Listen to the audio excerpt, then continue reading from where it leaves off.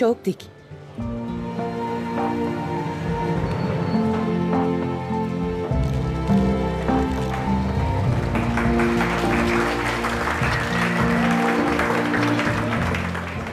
Ben sizin hayranınızım. Birlikte fotoğraf çektirmek ister misiniz? Aile resmi çektirelim mi? Hadi çocuklar. Aile resmi. İşte böyle. Sizi görmek çok güzel.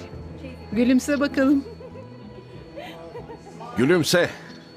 Tekrar gülümse. O Kepler, Galile, Newton gibi en önemli bilim adamlarından biri. İşte burada. Müthiş bir şey bu. İnanılmaz. My name is Stephen Hawking. For the past 50 years, I have traveled the world, studying and lecturing about time and space, and the laws that govern the universe. Şeytanın bacağını kır Steven.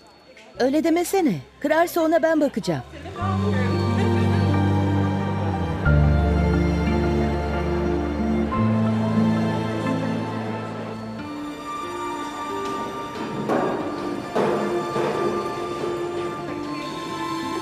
This film is a personal journey through my life, told in my own words. Come with me, and I will show you how I live and work today, and tell you the story of how I became who I am.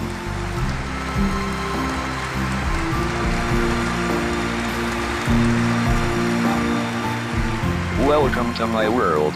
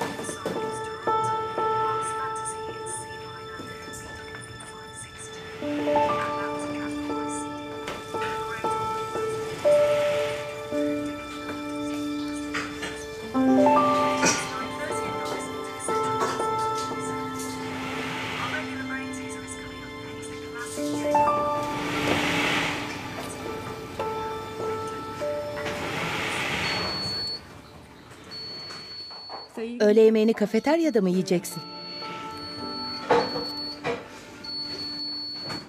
Bu sana kalmış. Judith'i arayayım o zaman.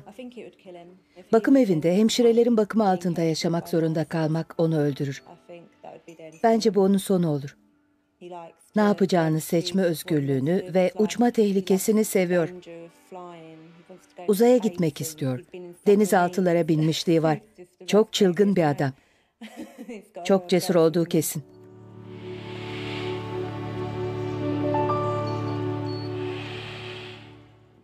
Burası hemşire odası. Tıbbi bir durum olduğu zaman telefonu bulup 999'u arıyoruz. Ama aslında yapabileceğimiz pek bir şey yok çünkü Steven'ın solunumu cihaza bağlı. Onunla nefes alıp veriyor. Cihaz bozulursa yapabileceğimiz tek şey oksijen tüplerimizle ona oksijen vermek. Bunu daha önce de yaptık. Ama kendini kaybetmişse onu ölmeye bırakmak zorunda kalırız.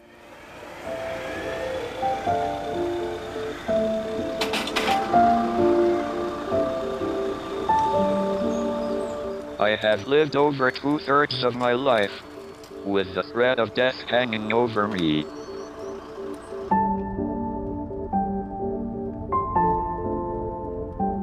Because every new day could be my last, I have developed a desire to make the most of each and every minute.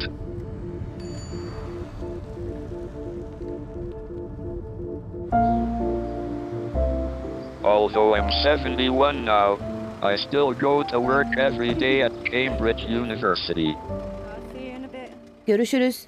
İyi alışverişler. Keeping an active mind has been vital to my survival, as has been maintaining a sense of humor. Günaydın Judith. İş görüşmesine geldiğimde bana tıbbi geçmişimi ve bakım işlerinde neler yaptığımı soracak sanıyordum. Ama sormadı. Yumurta yapmayı bilip bilmediğimi sordu. O sırada 19 yaşındaydım ve yalan söyledim. Çünkü yumurta yapmayı bilmiyordum. Ama hemen işe alındım.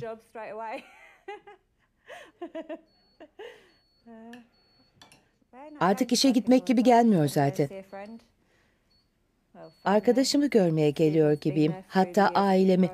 Steven büyüdüğüm yıllarda hep yanımdaydı. Yani hayatımın en önemli zamanlarında yanımdaydı. Steven sayesinde çok ayrıcalıklı bir hayatım oldu. Benim yanımda olmayı seviyor musun? Maybe.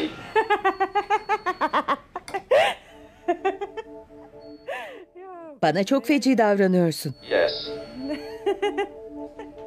As you can see, the gradual advance of my illness has meant that I am totally reliant on those around me. 71 years ago, life started that way too.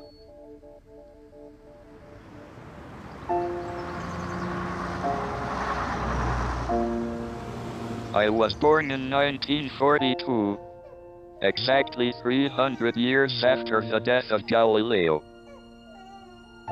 My parents were both at Oxford University, where my father studied medicine. He later specialized in tropical diseases. It is often said that a person's early years are a good indication of how they will turn out. Perhaps my eldest sister Mary remembers me best. Steven'ın çok zeki olduğunu hatırlıyorum. Her şeyle ilgilenirdi. Babam bana bir bebek evi yapmıştı. Sonra Steven'ı o eve tesisat döşeyip aydınlatma koymuştu. Kazanmayı severdi. Dama oynamayı öğrenmiştik. Steven'ı damada bir kez. Tek bir kez yendim. Hemen ardından satranç öğrendi ve onu bir daha asla yenemedim.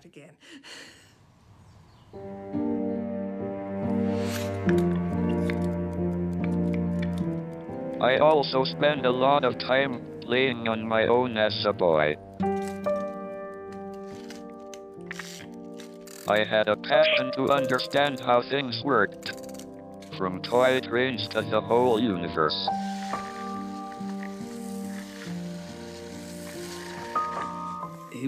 Göğe ve yıldızlara baka baka vakit geçirirdi. Sonsuzluğun nerede son bulduğunu merak ederdi. Nihayete ermeyen bir şeyin varlığını aklı almıyordu.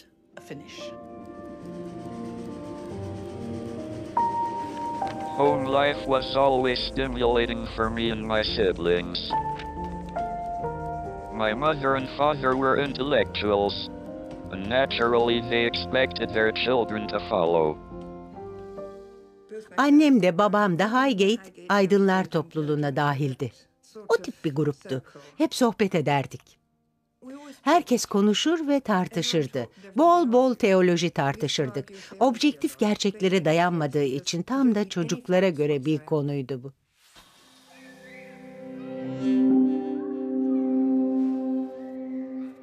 To outsiders, the Hawking household was considered eccentric. But for me, it was a place where my mind was constantly challenged. Her yerde kitaplar vardı. Tüm raflara iki sıra kitap dizilmişti. Dik duran kitapların üzerine konmuş, nerede yer varsa oraya sokuşturulmuş kitaplar vardı. Bayağı sıra dışı bir evdi. Çocuklara bol miktarda özgürlük tanınıyordu. Öğle yemeği sırasında edilen sohbet beni hayrete düşürmüştü. Benim evimde asla bahsi geçmeyen konulardan bahsediyorlardı.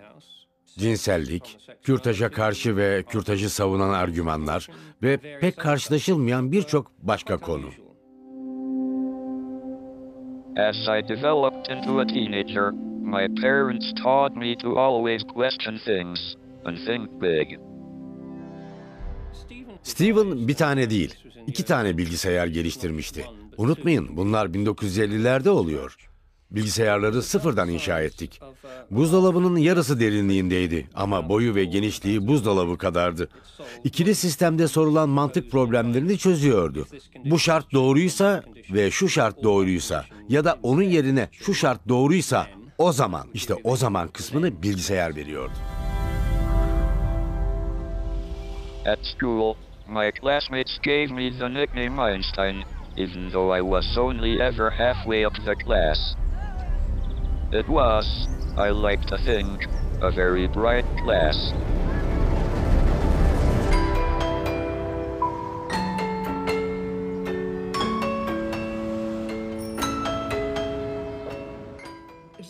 Hep Steven'ın Oxford'a gideceğini düşünmüştük. Annem de babam da Oxford mezunuydu. Steven son derece zekiydi. Kimsenin bundan şüphesi yoktu. Ne okuması gerektiği konusunda babamla farklı düşünüyorlardı. Babam Steven'ın tıp okumasının daha iyi olacağını düşünüyordu. Ama Steven tıpla ilgilenmiyordu. Gerçekten berbat bir doktor olurdu. O yüzden orta bir yol buldular. We agreed on a degree in natural sciences, specializing in physics. The prevailing attitude at Oxford at the time was very anti-work. You were supposed to be brilliant without effort, or to accept your limitations and get a fourth-class degree. To work hard to get a better class of degree was regarded as the mark of a grey man, the worst epithet in the Oxford vocabulary. Sanırım Steve de ben de bu kategoriye giriyorduk. Çalışmaya ya da çaba gösteriyormuş gibi görünmeye gerek yoktu. Steve çok komik bir adamdı. Sürekli espriler yapar ve mizahın tadını çıkarırdı. Spontane mizah konusunda çok iyiydi.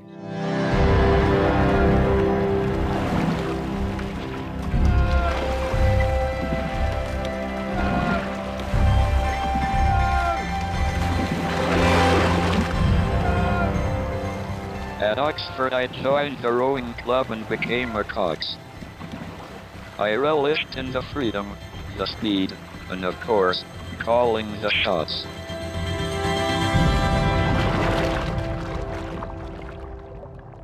The rowing club also introduced me to one of my favorite pastimes at Oxford.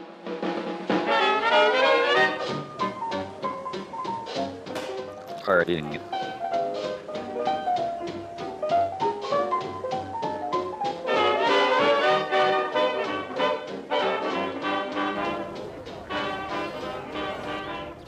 I once calculated that I did about a thousand hours work in the three years I was there, an average of an hour a day. I'm not proud of this lack of work. I'm just describing my attitude at the time, which I shared with most of my fellow students. Yıl ilerledikçe insanlar Steve'in o yılın en başarılı ismi olduğunu düşünmeye başladılar. Ancak en büyük başarısı hazırlıksız olsa da derinlikli yorumlar yapabiliyor olmasıydı. Yani kesinlikle zekasıyla parlayan bir kişiydi. Asıl soru bu zekayı bir amaç uğruna kullanıp kullanmayacağıydı.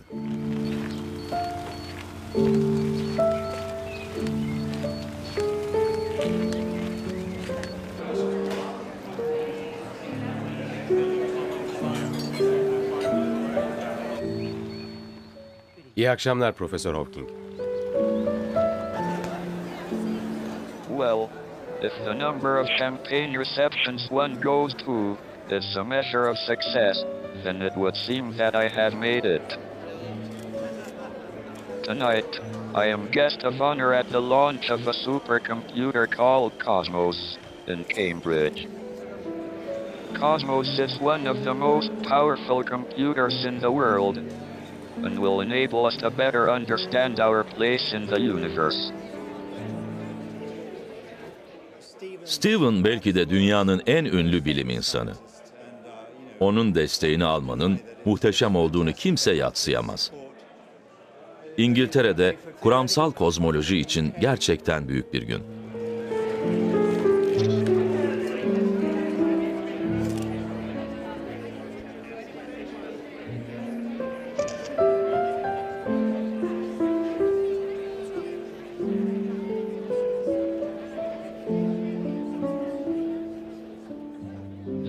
Of fame is a curious thing to me. In my mind, I am a scientist who has been lucky to work on some of the fundamental mysteries of our universe. Sometimes I wonder if I am as famous for my wheelchair and disabilities as I am for my discoveries.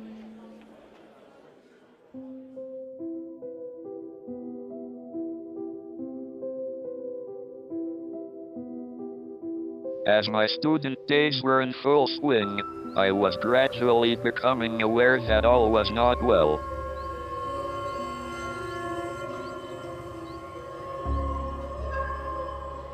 During my final year at Oxford, I had noticed that I was getting rather clumsy in my movements.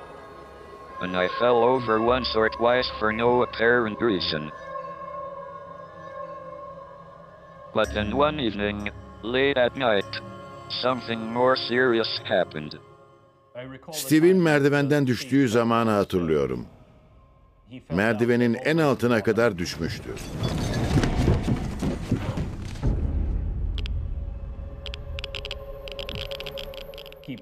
Bilincini kaybetti ve sonra da kim olduğunu hatırlayamadı. Nerede olduğunu bilmiyordu. Yani çok ciddi bir şeydi.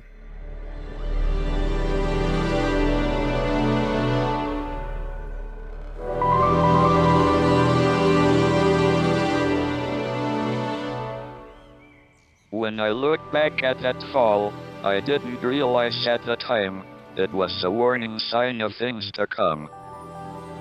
But I recovered and soon had more pressing things on my mind.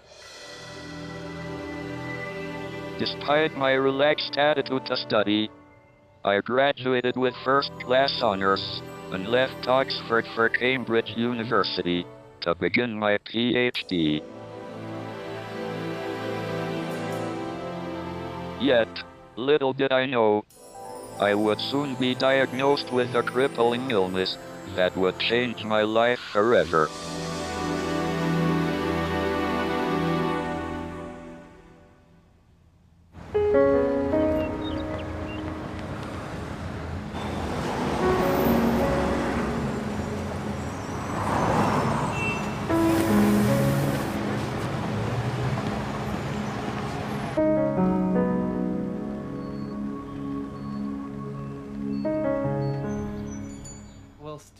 Steven'ın iletişim hızı yavaş yavaş geriledi.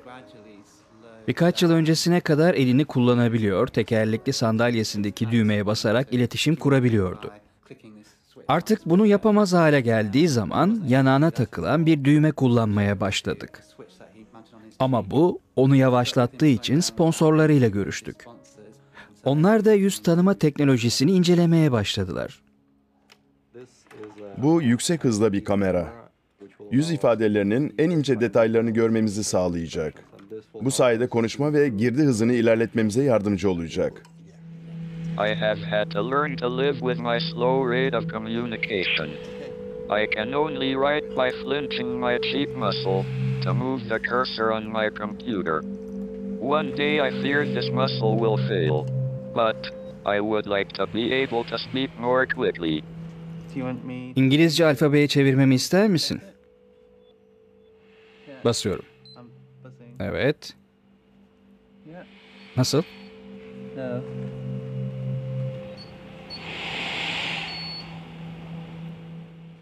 Oldu mu Steven?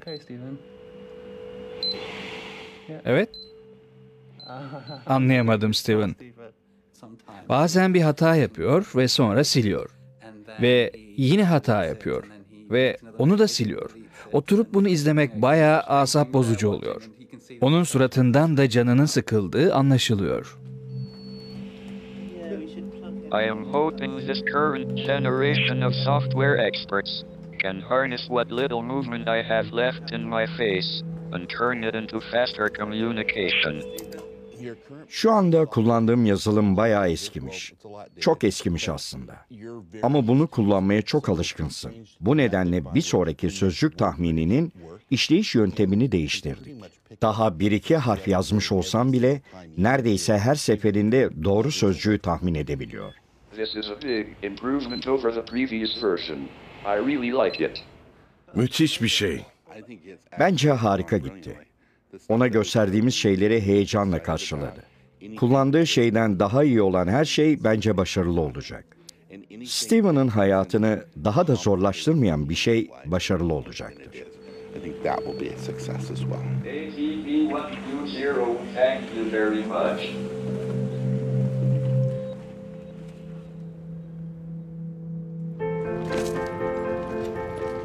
In 1962, age 20, when I arrived at Cambridge to begin my PhD, I was also desperate for my voice to be heard as I embarked on my first real scientific challenge. At the time, two theories battled to correctly describe the universe. The steady state theory held that the universe had always existed and would exist forever. But there was another, more exciting idea. The Big Bang Theory suggested that the universe had begun with a huge explosion. I decided to try to see if I could shed any light on how the Big Bang came to be. But, by now, the immediate challenge I was facing was to keep control of my body. My movements were becoming even more erratic. Though I was determined not to worry my family, so I tried to keep it to myself. Steven bir dönemin ardından Noel tatilinde eve döndü. Semptomlar ailesinden gizleyemeyeceği kadar ilerlemişti. Babası onu aile doktoruna götürmekte ısrar etti. O doktor da Londra'da bir uzman tavsiye etti.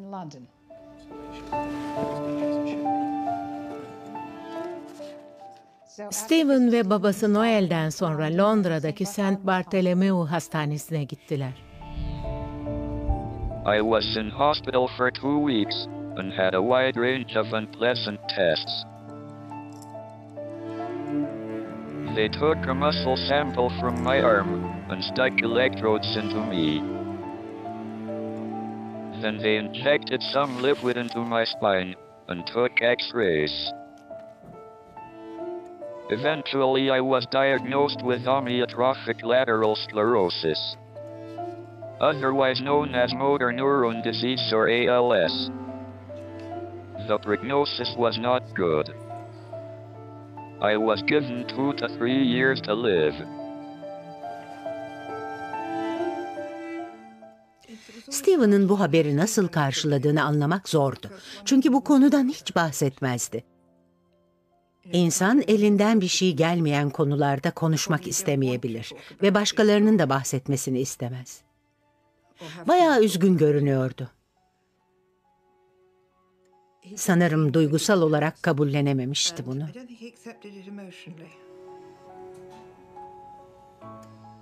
Tüm aile darmadağın oldu. Herkes için büyük bir şoktu. Teyzemin bir gecede saçları ağardı ve hepimiz Steven'ın uzun süre yaşamayacağını düşünüyorduk.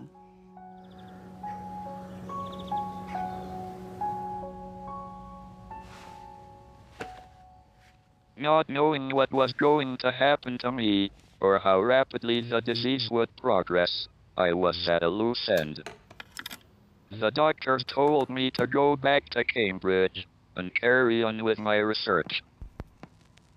But I was not making much progress, and anyway, I might not live long enough to finish my PhD. I felt somewhat of a tragic character. I took to listening to Wagner.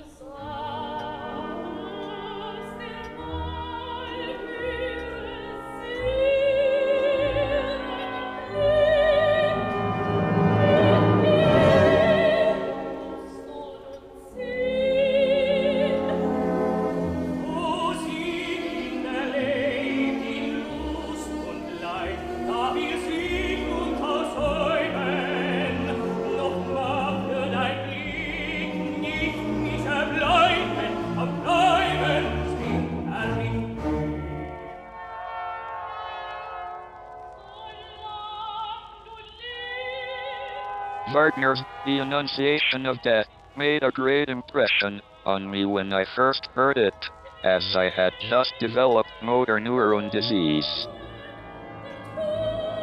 I identified with it, and still do today.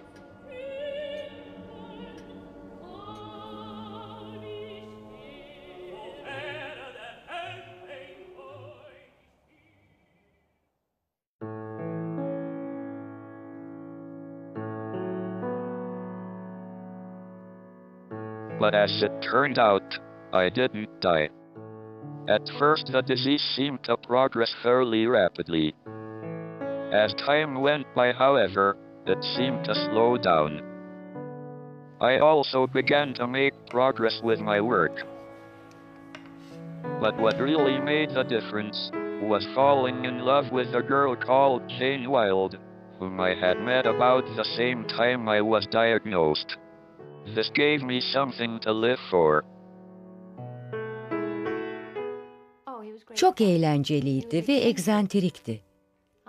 Kocaman gülümsemesine ve güzel gri gözlerine tutulmuştum. Sanırım ona aşık olmamı sağlayan şey buydu. Hastalığa karşı koyacaktık. Doktorlara karşı koyacaktık. Ve geleceğe meydan okuyacaktık. Jane was beautiful and gentle, and seemingly undaunted by the harsh reality of my illness.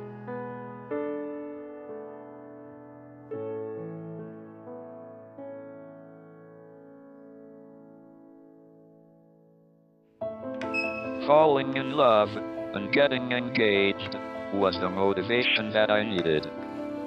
If I were to get married, I had to get a job, and to get a job I had to finish my PhD. I therefore started working hard for the first time in my life. To my surprise, I found I liked it. Steven ritmini buldu, gidiş yönünü buldu ve Steven gidiş yönünü bulduğu zaman peşini bırakmaz. Son derece heyecan verici bir şeydi çünkü uzun süredir çok mutsuzdu ve şimdi hayat yeniden başlıyor gibiydi. Perhaps because I realized I might not have much time, I renewed my efforts to tackle the big question in cosmology in the early 60s. Did the universe have a beginning, or not? Many scientists were instinctively opposed to the idea of a Big Bang because it implies a moment of creation. The hand of God. For me, though, religion has no role to play in physics, so I wondered if the Big Bang could have happened on its own, without the need for a God to get it going. The key was in the theory of black holes. At the time, physicist Roger Penrose was working on what happens when a star collapses under the force of its own gravity. Penrose claimed the star would crush itself to a tiny point of infinite density, where even time itself would come to a stop. He called it a singularity, the heart of a black hole. Kara deliklerin çekimsel infilakı üzerinde çalışırken Steven'ın adını duymuştum. Özel bir görüşmemiz oldu. Fikirleri çabucak kavrayan biriydi. Hep en rahatsız edici soruları soran kişi olarak göze batıyordu. Onu çok net hatırlıyorum. I worked relentlessly to see if I could apply the notion of a singularity to the entire universe. Then suddenly, I had it. I imagined going backwards to the beginning, and worked out that right at the start, the universe would have been a singularity too. Here, time stops. You've reached the true beginning of everything. There is no previous time in which the universe could have had a cause.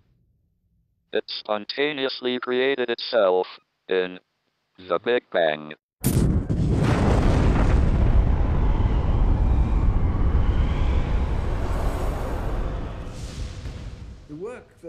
Steven'ın çalışmaları daha önceki bir evrenden gelmesi mümkün olmayan bir tekil durumun varlığını gösteriyordu.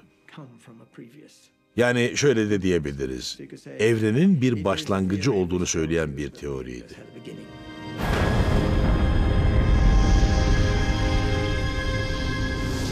By addressing the question of creation that physicists had avoided, I had controversially shown the laws of nature suggest there is no need for a creator or God. The universe just came into existence all by itself.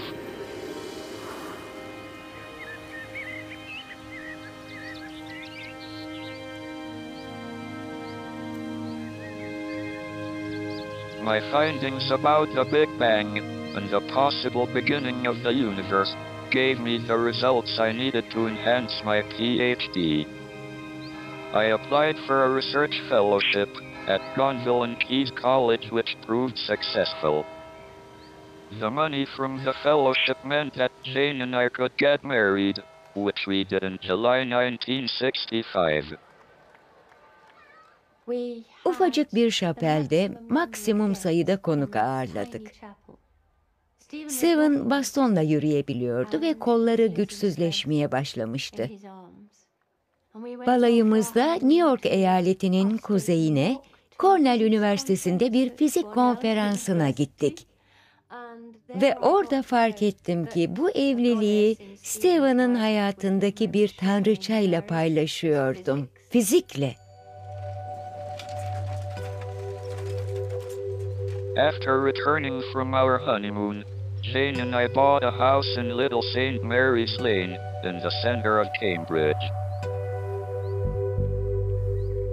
In March 1966, I completed and submitted my PhD thesis, with the help of Jane who had spent many painstaking hours at the typewriter, typing it up.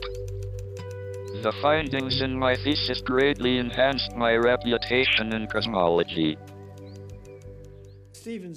Steven gerçekten büyük bir hızla ün kazandı. Büyük patlamanın gerçekleştiğini bilmek önemliydi çünkü kozmolojiyi yöneten şey buydu.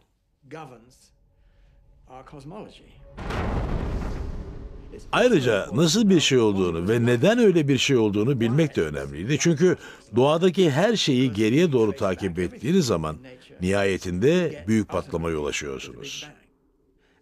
Bu anlayışın büyük bir parçası da bunun tekil bir durum olmasıydı.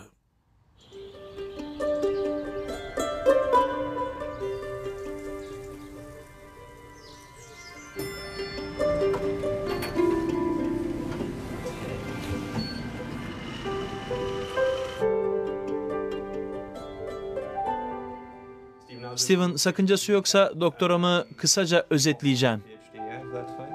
My early work went some way to answering how our universe began. But there is still plenty more to find out.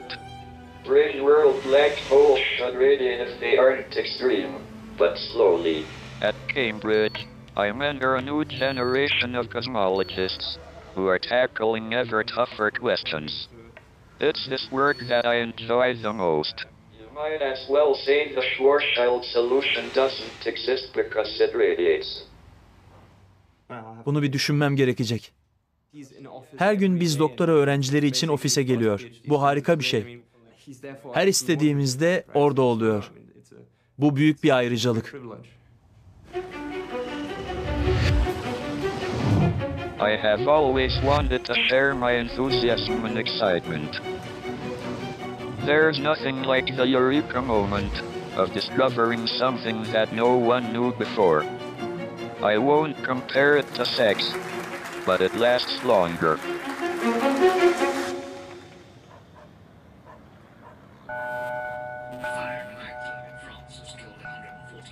My next major eureka moment happened when I was least expecting it. In the autumn of 1970, I had been concentrating my research on black holes. By now, Jane and I had two children Robert, aged three years, and Lucy, who had just been born. One evening in November, As I was getting ready for bed, an idea charged through my brain. Only cosmologists would truly grasp it, but it would greatly enhance my reputation. Yatağın bir tarafında oturuyordum. Steven de öteki tarafında düğmelerini açmaya çalışıyordu.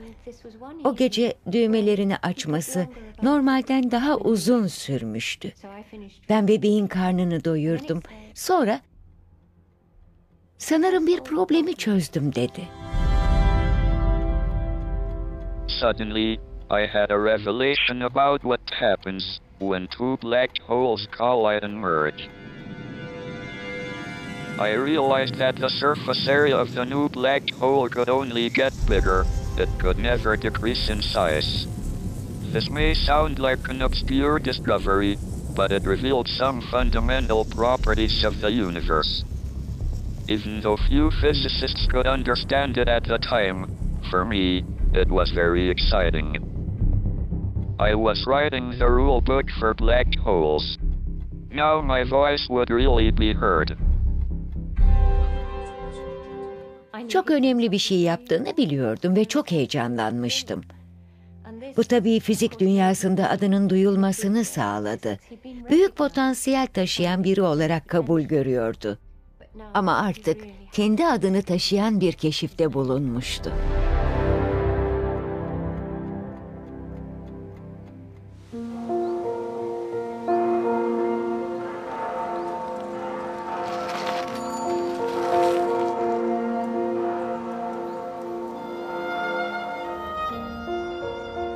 By the early 1970s, my career in cosmology and my understandings of the universe were beginning to blossom.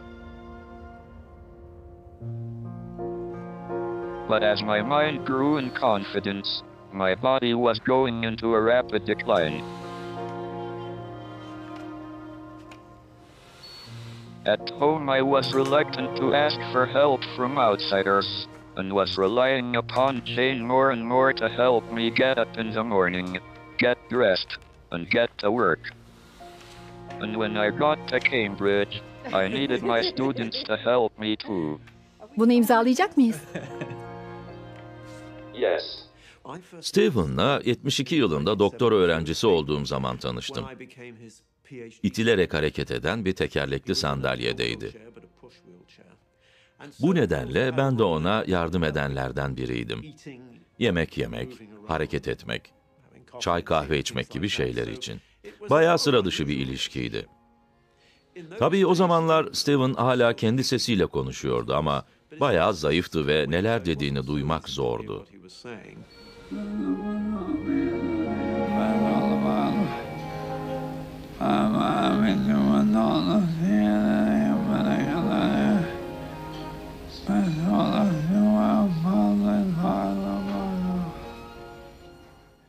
Ve tabii Steven'la seyahat ettiğimiz zaman sık sık onun çevirmenliğini yapardım. Steven bir şey söylediği zaman karşısındaki kişi onu anlayamazsa ben söylediklerini tekrar ederdim.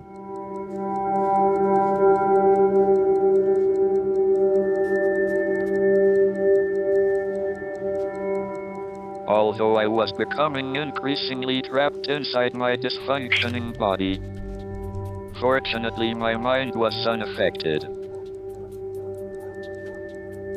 I had a new big question I felt compelled to find the answer to. My reputation in the field of black holes was established as we entered a golden age. But my next discovery would throw all of cosmologists' findings to date up in the air. The calculations I was working on involved what happened to particles on the edge of a black hole that were sucked in and disappeared.